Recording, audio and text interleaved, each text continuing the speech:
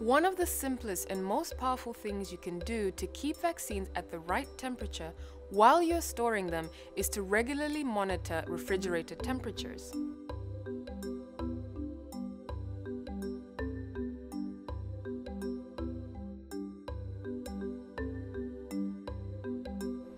Anytime a vaccine is being transported or stored, it has to be kept at the right temperature. If a vaccine is not kept at the right temperature, it can lose its potency. And if it loses its potency, it has to be discarded. The only way to know that a vaccine has been kept at the right temperature is to monitor and record temperatures twice every day. The first step is to read the temperature on the 30 DTR in your refrigerator every morning. Here is one model of 30 DTR that is widely used, though there are other models. Most health facilities should be using 30 DTRs to monitor refrigerator temperatures, but you should read whatever device you have in your refrigerator.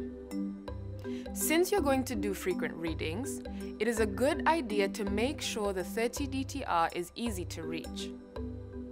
On this 30 DTR, you can see the current temperature right here. Step 2 is to record the temperature, the time, and today's date. You should write this information on a temperature chart which should be close to your refrigerator. On this particular chart, the dates and times are already provided, so you simply add the data in the spaces provided. Your chart may look different, and that is fine. The important thing is to capture the information you need. Next, you will need to write down the high and low temperatures from the past 24 hours and write down whether any alarms were triggered. You can find all that information on the display of your 30DTR device. For example, on this device we can see the temperature information here and the alarm information here. Keeping a record of high and low temperatures helps everyone in the cold chain see whether a piece of equipment is having problems or needs repair.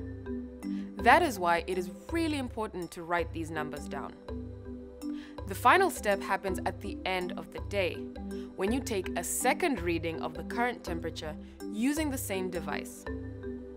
You should record the current temperature two times a day, once in the morning and once at the end of the day. You will do this at least five days per week and preferably seven days per week. That is it. You should now be able to monitor and record refrigerator temperatures every day.